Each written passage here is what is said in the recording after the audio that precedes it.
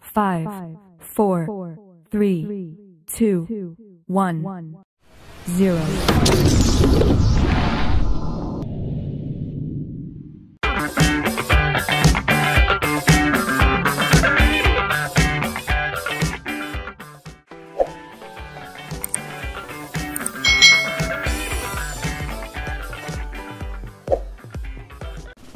Hai hai hai Selamat datang di channel youtube Kak Citra Apa kabar adik-adik semuanya? Kak Citra berharap kalian dalam keadaan yang baik, sehat dan siap untuk belajar ya. Hari ini kita akan belajar bersama-sama untuk mata pelajaran tematik kelas 6 kita belajar di tema 8 Bumiku. Subtema 2 Bumiku dan musimnya Pembelajaran yang pertama. Mari adik-adik kita belajar dengan penuh semangat ya saat musim hujan, sinar matahari sering tertutup awan. Hujan hampir turun setiap hari. Bawalah payung sebelum pergi. Adik-adik, Pagi itu daerah tempat tinggal Dayu kembali diguyur hujan Hujan turun tak henti-hentinya hampir dua hari lamanya saat Dayu menonton televisi, dilihatnya berita mengenai beberapa daerah yang terkena bencana banjir. Banjir merupakan peristiwa alam yang sering terjadi ketika musim hujan tiba. Dayu ingin mengetahui lebih lanjut mengenai bencana banjir. Yuk kita baca bersama-sama bacaan berikut ini. Banjir bukan sekedar bencana alam. Memasuki musim hujan, terjadi peningkatan curah hujan di beberapa wilayah di Indonesia. Tidak dapat dipungkiri, banjir pun melanda di berbagai tempat. Berbagai faktor penyebab banjir berulang dari tahun ke tahun. Rendahnya kesadaran masyarakat untuk menjaga lingkungan, penebangan liar, pembangunan permukiman tanpa mengindahkan topografi wilayah merupakan penyebab bencana tersebut. Pendangkalan dan penyempitan badan sungai membuat sungai meluap. Hal ini dapat disebabkan juga oleh faktor alam namun ada pula ulah manusia yang mempercepat terjadinya hal ini. Menjamurnya rumah di bantaran sungai misalnya. Nah, permasalahan ini sering terjadi di kota yang padat penduduknya.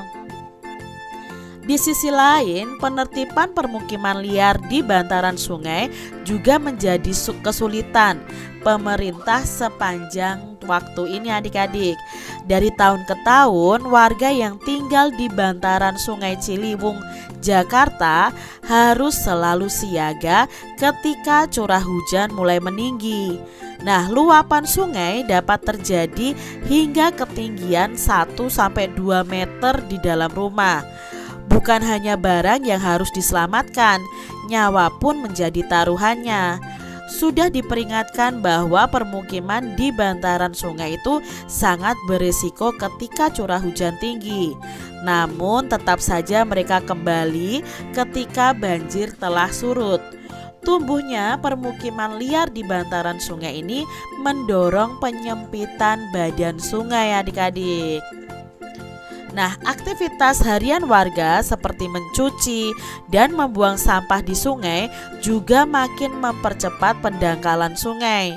Di Manado, Sulawesi Utara, rawan banjir dan longsor justru terjadi akibat pembangunan kota yang tidak mengindahkan topografi.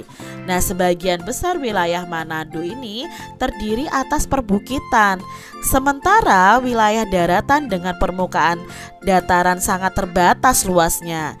Nah, sejalan dengan bertambahnya penduduk, banyak bukit dan lereng yang kemudian diubah menjadi perumahan. Nah, ini tadi adik-adik e, bacaan ya tentang banjir ya, diambil dari microsite.metronews.com Dari bacaan di atas, kita akan belajar tentang membaca sekilas. Apa itu membaca sekilas? Yuk kita cari tahu bersama-sama adik-adik.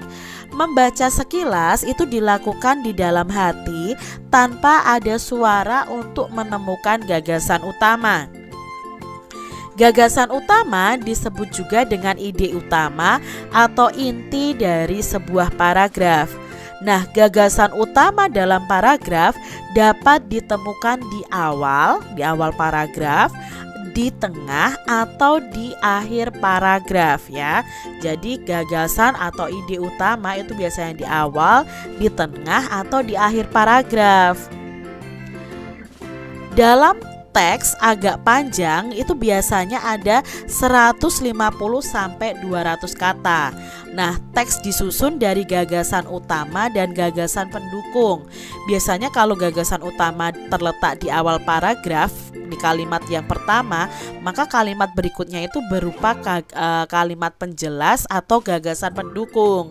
Nah, setiap paragraf ini memiliki satu gagasan utama adik-adik yang merupakan inti dari pesan yang akan disampaikan. Nah, beberapa gagasan utama dapat dijadikan dasar untuk menemukan pokok pikiran dari suatu teks. Oleh sebab itu, sebelum mencari pokok pikiran dari suatu teks, temukan dahulu gagasan utama dari setiap paragraf. Gagasan utama dan informasi penting dalam setiap paragraf ya. Kita akan belajar menemukan gagasan utama dan informasi penting dari setiap paragraf dalam bacaan tadi. Nah, kita di sini akan membuat peta konsep adik-adik seperti ini. Tadi paragrafnya itu ada tiga. Kalau di buku kalian mungkin bentuk peta pikirannya ada empat ya paragrafnya. Tapi kan dalam bacaan tadi hanya tiga paragraf. Nah, paragraf yang pertama itu gagasan utamanya adalah memasuki musim hujan terjadi peningkatan curah hujan di beberapa wilayah di Indonesia. Lalu bacaan tadi informasinya penting yang penting di paragraf pertama itu adalah tentang faktor penyebab banjir. Yang pertama, rendahnya kesadaran masyarakat untuk menjaga lingkungan, lalu penebangan liar, lalu pembangunan permukiman tanpa mengindahkan topografi wilayah, lalu pendangkalan dan penyempitan badan sungai, dan menjamurnya rumah di bantaran sungai. Itu informasi penting di paragraf yang pertama. Di paragraf yang kedua, gagasan utamanya adalah tumbuhnya permukiman liar di bantaran sungai, mendorong penyempitan badan sungai. Lalu informasi pentingnya apa? informasinya yang penting nih di paragraf kedua adalah dari tahun ke tahun warga yang tinggal di bantaran Sungai Ciliwung Jakarta harus selalu siaga ketika curah hujan mulai meninggi. Luapan sungai itu dapat terjadi hingga ketinggian 1 sampai 2 meter di dalam rumah. Lalu di paragraf yang ketiga, gagasan utamanya adalah di Manado, Sulawesi Utara, rawan banjir dan longsor justru terjadi akibat pembangunan kota yang tidak mengindahkan topografi. Nah, informasi di sini yang penting di paragraf ketiga, ketiga ini adalah penyebab banjir dan longsor yang ada di Manado, Sulawesi Utara. Itu tadi adik-adik ya peta pikiran dari bacaan banjir bukan sekedar bencana alam. Nah, berdasarkan gagasan utama dan informasi penting tadi, kita akan membuat ringkasan dari bacaan banjir bukan sekedar bencana alam. Nah, ini adalah contoh ringkasan dari Kak Citra adik-adik ya. Kak Citra ringkas dari masing-masing paragraf dari uh, informasi penting tadi. Paragraf pertama, banjir menjadi ancaman di berbagai wilayah Indonesia. Faktor-faktor penyebab banjir antara lain rendahnya kesadaran masyarakat, pendangkalan dan penyempitan badan sungai, serta menjamurnya rumah di bantaran sungai. Lalu di paragraf yang kedua itu tumbuhnya permukiman liar di bantaran sungai mendorong penyempitan badan sungai. Nah, penertiban permukiman liar menjadi kesulitan pemerintahan daerah. Luapan sungai dapat terjadi hingga ketinggian 1 sampai 2 meter. Permukiman di bantaran sungai sangat beresiko ketika hujan curah hujannya sangat tinggi. Di paragraf yang ketiga, di Manado itu rawan banjir dan longsor terjadi akibat pembangunan kota. Nah, sebagian besar wilayah Manado itu terdiri atas perbukitan, sementara wilayah daratan dengan permukaan yang datar itu sangat terbatas luasnya. Banyak bukit dan lereng kemudian diubah menjadi perumahan. Nah, ini ringkasan dari bacaan banjir bukan sekedar bencana alam. Perhatikan artikel di bawah ini adik-adik. Nah, kalian bisa meminta teman kalian atau kakak kalian atau orang tua kalian untuk membacakan artikel tersebut. Lalu kalian tentukan kata kuncinya dan informasi yang penting dari artikel tersebut. Nah, di sini artikelnya diambil dari kompas.com.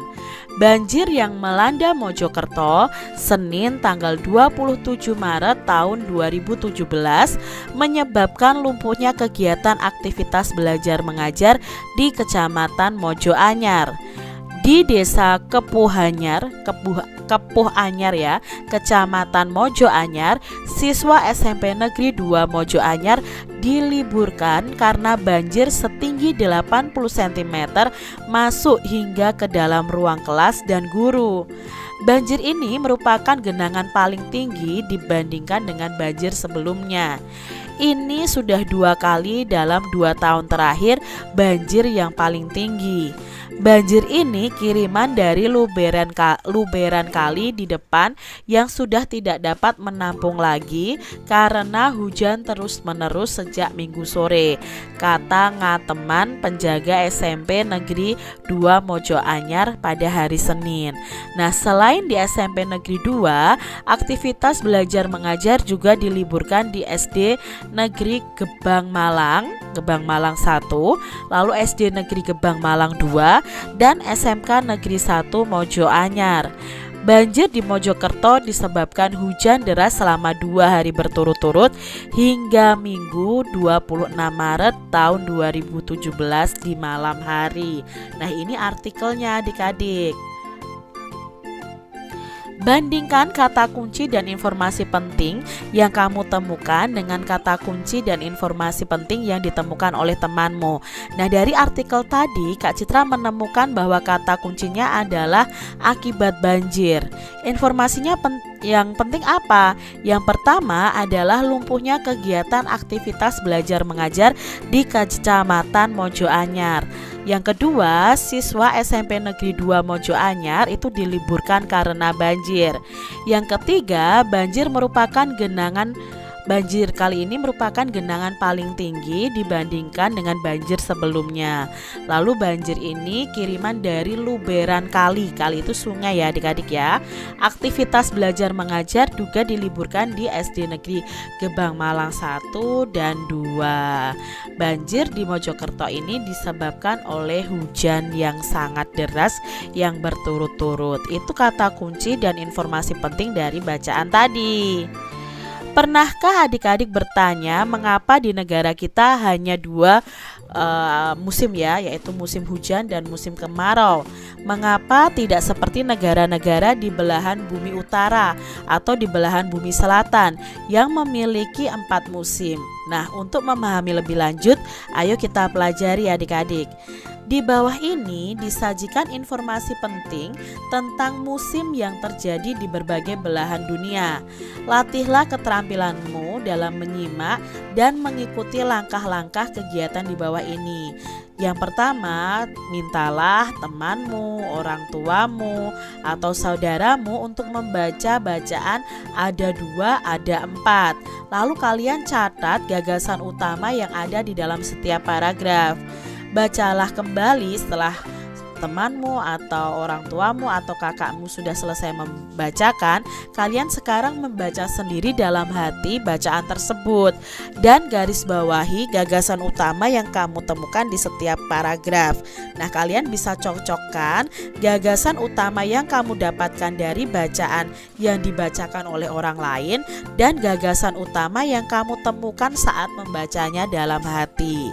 Apakah ada persamaan dan apakah kamu menemukan menemukan perbedaan juga.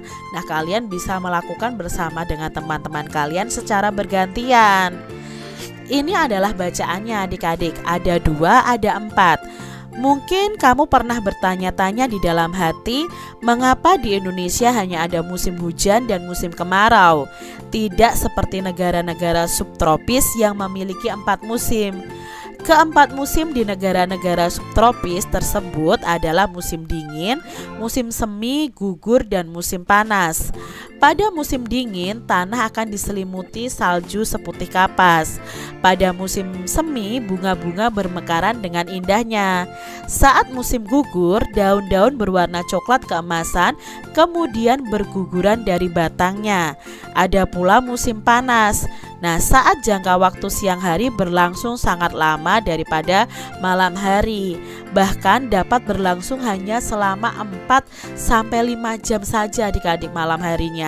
Nah, perbedaan musim di negara tropis itu terjadi karena ketika mengorbit poros bumi dalam keadaan miring. Nah, pada bulan Desember saat poros di belahan bumi utara utara mengalami kemiringan terjauh dari matahari sehingga sedikit mendapatkan sinar matahari. Akibatnya terjadilah apa yang kita kenal dengan musim dingin. Di sisi belahan bumi selatan pada waktu bersamaan terjadi musim panas. Sementara itu di bagian tengah poros bumi yaitu bagian yang dekat dengan garis ekuator, poros tidak terlalu mengalami kemiringannya. Banyaknya sinar matahari cenderung stabil sepanjang tahun. Nah, pada bagian bumi ini arah dan kecepatan anginlah yang berperan mempengaruhi musim. Angin terjadi karena perbedaan tekanan udara. Baik dua maupun empat musim, semuanya sama-sama karunia Tuhan yang Maha Esa. Semuanya harus kita syukuri karena menjadikan tempat-tempat di muka bumi ini sempurna dengan ciri khasnya masing-masing. Itu tadi ya adik-adik bacaan tentang ada dua dan ada empat. Nah sekarang gagasan utama yang kamu dapatkan dari bacaan tadi kalau dibacakan oleh orang lain atau dibacakan oleh temanmu atau keluargamu apa yang kalian dapatkan. Nah, di sini Kak Citra mendapatkan di paragraf pertama kalau dibacakan oleh orang lain itu isinya adalah penyebab empat musim di negara subtropis. Lalu di paragraf kedua kedua itu tentang kemiringan di daerah poros bumi. Paragraf yang ketiga itu tentang angin terjadi karena perbedaan tekanan udara. Lalu setelah itu kalian kan membaca di dalam hati. Gagasan utama apa yang kamu dapatkan setelah membaca bacaan dalam hati? Nah, setelah membaca bacaan dalam hati, Kak Citra di sini menemukan paragraf pertama itu isinya tentang perbedaan musim di negara tropis dan di negara subtropis. Lalu di paragraf kedua itu berisi tentang pengaruh arah dan kecepatan angin terhadap musim dan paragraf yang ketiga itu berisi tentang muka bumi ini memiliki ciri khas masing-masing. Itu tadi adik-adik ya gagasan utama dari masing-masing paragraf dalam bacaan ada dua, ada empat tadi. Berdasarkan teks ada dua ada empat Jelaskan penyebab terjadinya perbedaan musim. Ini musim ya adik-adik ya bukan musim ya.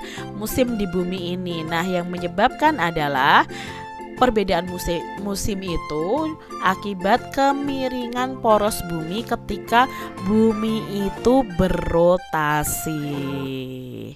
Demikian tadi adik-adik pembahasan kita di tema 8 subtema 2 pembelajaran yang pertama. Semoga video pembelajaran ini bermanfaat untuk adik-adik semuanya dan sampai jumpa lagi di video pembelajaran Kak Citra selanjutnya. Tuhan memberkati. Jangan lupa tekan tombol subscribe, lalu tekan loncengnya, tekan juga tombol like lalu share ke media sosial kalian. Jangan lupa untuk ikuti media sosial Kak Citra. Terima kasih.